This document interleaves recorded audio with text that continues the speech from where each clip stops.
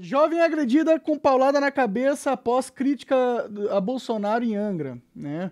A Stefane Laudano, 19 anos, foi agredida com uma paulada na cabeça e depois que sua irmã fez críticas ao Bolsonaro. Caralho, nem ela foi, nem foi ela que fez a crítica e levou uma paulada, coitado.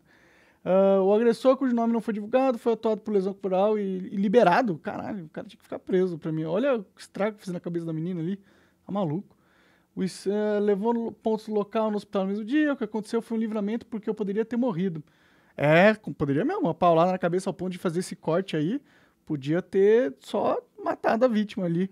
É, bom, mais um dia, né? Tem uma outra notícia aí que, é, que tem a ver com isso também, né? Quer que coloca aí já? Já coloca aí, vamos, vamos apresentar as duas notícias que elas são bem similares, né? Infelizmente similares e infelizmente recorrentes, né? Um homem, eu acho que hoje, ele foi esfaqueado após uma discussão política em um bar. A briga foi motivada por desavença política, políticas e familiares. A vítima era bolsonarista e o agressor petista. Então, ó, provavelmente tinha política no meio, mas também tinha história entre os dois ali, pelo menos é o que o, que a notícia está falando. Uh, ele morreu, 34 anos, estava envolvido em uma briga, vai mais para baixo. A uh, polícia militar foi acionada, blá blá blá, mais para baixo ali. Nas redes, a vítima fez postagem de apoio ao presidente. Ué? A vítima fazia postagem de apoio ao presidente Jair Bolsonaro? Então, né? Porque pelo título deu a entender que o, Ué, eu achei que era um petista que tinha morrido, não um bolsonarista. Será que essa notícia tá errada? Sei lá, é o Metrópole, né? Não dá pra. É? é? de hoje, é. Hoje que aconteceu. Vai, desce mais ali pra gente dar uma olhada. Uh, nas redes sociais, já o outro homem conhecido na cidade por apoiar o Partido dos Trabalhadores. Ó. Ué? Teria dado um tapa na... no rosto, pegou e levou para fora do bar. Ué, mas aí agora eu tô confuso. Quem que matou quem? Foi um bolsonarista que matou um petista? Não, o bolsonarista morreu. Ué, caralho! É, ó, quer ah, ver, ó. Que a manchete ó, era outra A vítima coisa. fazia postagens de apoio ao presidente Jair Bolsonaro. A vítima, né? Que é o cara que tomou a facada. Entendi. Caralho, cara. Olha aí, os bolsonaristas estão apanhando também, estão morrendo também. Caralho, cara, que bizarro isso aí. Porque a gente, a gente só vê os bolsonaristas matando outras pessoas, né? É. Mas no final das contas era isso que estava acontecendo, pelo menos eram as notícias. Mas essa aí é um. Aparentemente, segundo o Metrópole, aconteceu diferente. Desce mais um pouquinho. Vê, procura mais notícias disso aí, porque eu tinha visto manchete ao contrário, entendeu? Deixa eu ah, olhar aqui do outro lado. Mas olha aí, o problema, na verdade, é que a, a gente tá polarizado. A gente, os nossos inimigos de verdade não são nem, nem quem é de direita, quem gosta do Bolsonaro, nem quem é de esquerda ou que gosta do Lula. Eles são, em teoria, eles estão no mesmo barco nosso chamado Brasil. Eles não são nossos inimigos.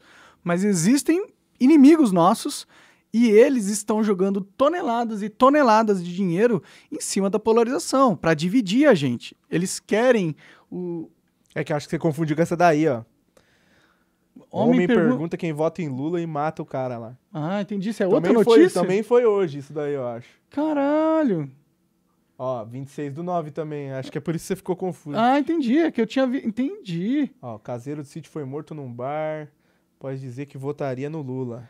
Então a galera tá se matando. É o lulista matando o bolsonarista, o bolsonarista matando o lulista. Cara, isso aí é o, é o começo de uma guerra civil. É, as pessoas não percebem isso porque ficam pensando, ah, é um caso isolado, outro caso isolado aqui. Não, mas esses casos, eles, estão, eles não aconteciam 20 anos atrás ou 10 anos atrás, né? O que é, o está acontecendo hoje prova que a nossa sociedade está completamente dividida. Completamente dividida.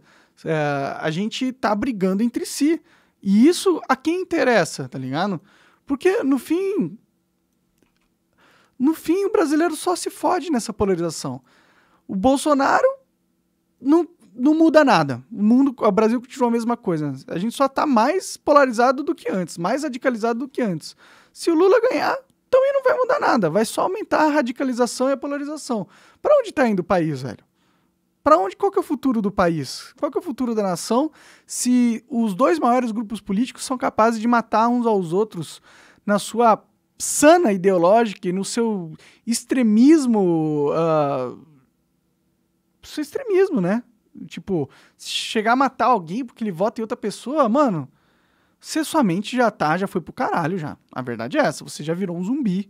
Você é uma pessoa que anda, fala e come, mas você não tem vida, tá ligado?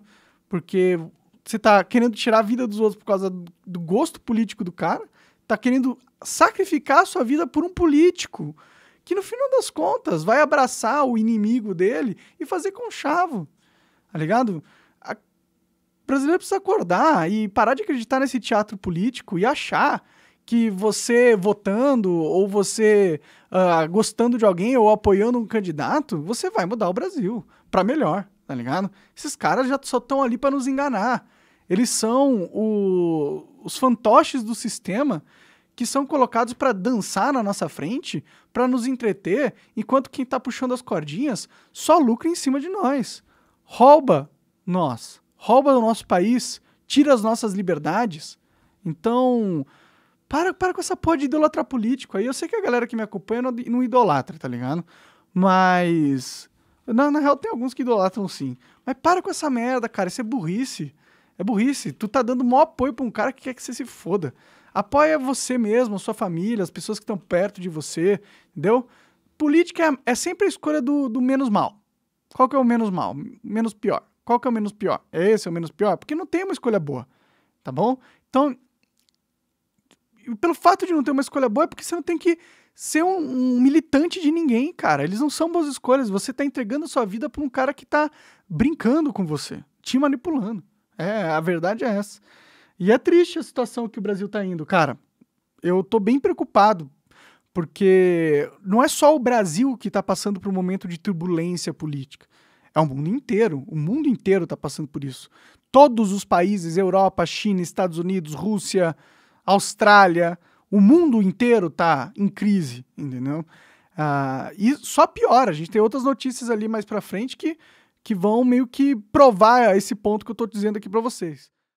Você acaba de assistir um corte do Monarch Talks. Agradeço demais, mas se você quiser ver o vídeo na íntegra e acompanhar ao vivo todas as transmissões, você tem que ir lá no rumble.com/monarch para não perder nada. Segue a gente lá.